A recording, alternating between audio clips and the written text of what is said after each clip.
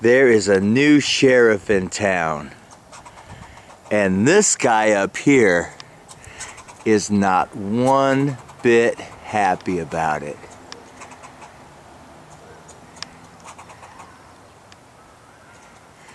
He is making just all kinds of racket because he knows his days are numbered.